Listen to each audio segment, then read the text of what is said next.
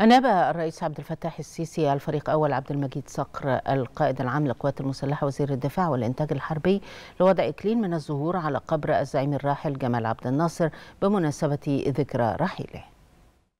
أناب الرئيس عبد الفتاح السيسي رئيس الجمهورية القائد الأعلى للقوات المسلحة الفريق أول عبد المجيد صقر القائد العام للقوات المسلحة وزير الدفاع والإنتاج الحربي للمشاركة في إحياء الذكرى السنوية لوفاة الزعيم الراحل جمال عبد الناصر.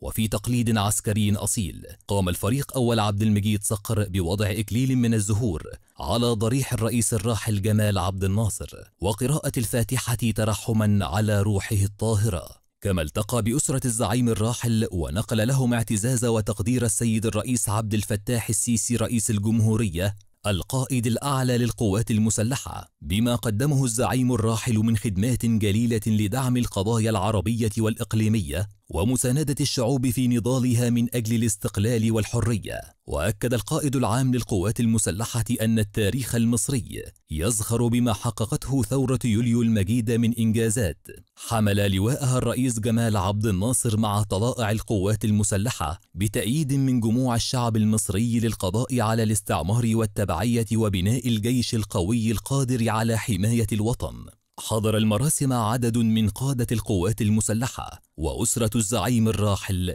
جمال عبد الناصر.